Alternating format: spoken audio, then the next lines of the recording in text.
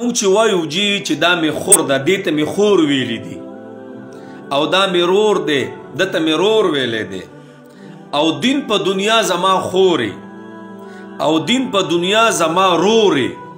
آیا دا اسلام کې شته او کو نشته د دې حقیقت شته او کو نشته زمونږ په معاشره کې خاص کر بیا د پښتنو په معاشره کې چې دا خبره عام ده چې بس خور ورته وي او رور ورته وي بیا دیو بل سره هغه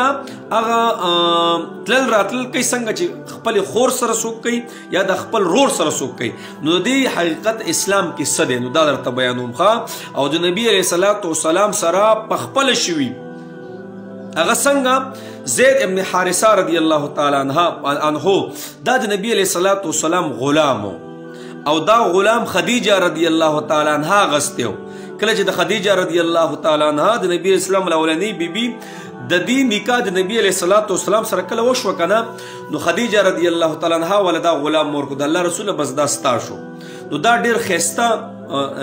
ماشوم او نوجوانو ډیر مالدارو دا غلام نو خو چا پټ کړو بس او به است خرج کو بس ودا غلام دی هغه ټیم کې خدای حساب کتابو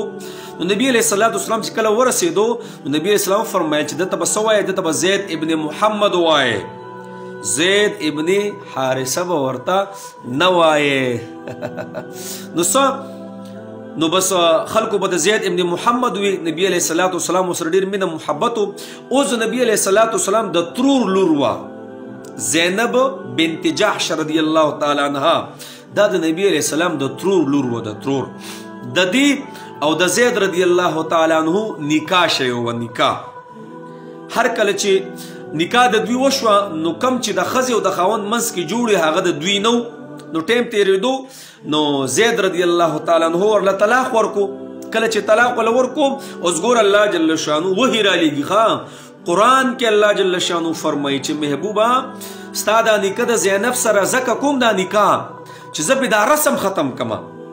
په دې مؤمنانو کې چې دا کوم مفهوم د آیت دا دی چې په دې مؤمنانو کې دا کوم خبره تر ده کنه او دا مې رور دی او دا مې خور ده چې دا خبره ختمه کی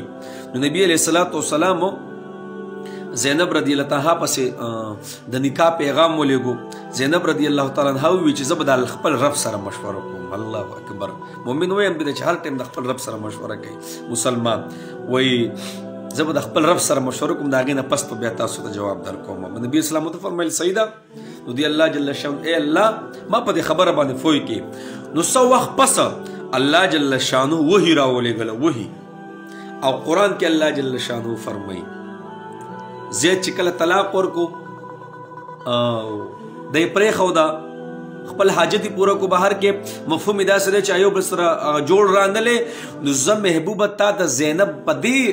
اعتبار در کوم چې دا رسم نه دی دا ستا بیبی ده او چې په دې سره دا رسم نه دا رسم او رواج چې په دې معاشره کې دی د جهالت دا ختم شي ولې جی د زوی د خځې سره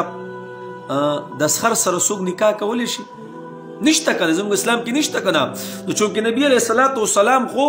زید ابن حارثه ته زوی ویلو کنه اوس د زید ابن حارثه د خزې سره د بیبي سره نبی علیہ الصلوۃ والسلام نکاح کوي نو ولی چې دا رسم ختم شي دا رواج ختم شي نن سبا چې زما په معاشره کې او خاص کر زموږ د پښتنو په معاشره کې یو یو عام دی بسې بس کور ته بزی راځي او څنګه چې د خپل خور سره برتاو کوي د خپل رو سره د قشان سترونه پکې مات شي د دنیا سترونه په دې زونو کې مات شي د دنیا پردي کسان به کور ته بزي ولی و دې ته خو ما زما مور رور ویلې دي او دې ته خو زما پلار خور ویلې ده بس دا مونږ رزي رازي سترونه نشتا خبره ختم شي نو جناب دا د جهالت رسم دی ښا دا د نبی علیہ الصلوۃ والسلام نه مخکې د جهالت رسم او جهالت اوس زمونږ په معاشره کې هم ډیر په های لیول باندې روان دی نو دا جی جهالت ته جهالت دغه سړی هم ګناګار دی چې وای دا زما خور ده او دغه خزه هم ګناګار ده چې وای دا زما رور دی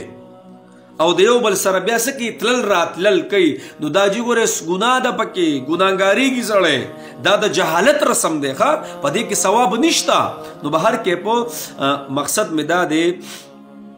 چې دا زموږ په معاشره کې دا خبره ډیره عام ده او نبی علیه الصلاۃ والسلام د نکاح د زینب رضی الله تعالی عنها سره چې کله وشو کنه نو دا رسم مکمل ختم شو او زینب رضی الله تعالی عنها زمونږ امهات المؤمنین کې شمار شو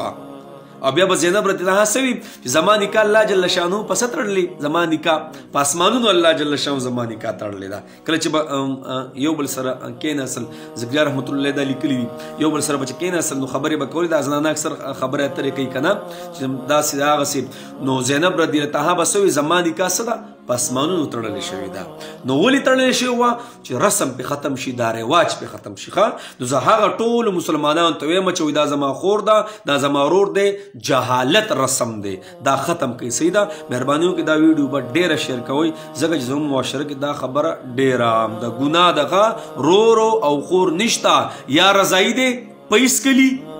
او یا خپل خپل رور دی بس د دې دوه نه علاوه رونه نشته ښه نشته رونه په خولې ویلو سره رونه نه په نه کیږي د خولې اعتبار نشته ښه صحیح ده انشاءالله دا ویډیو به شیر کوو ښه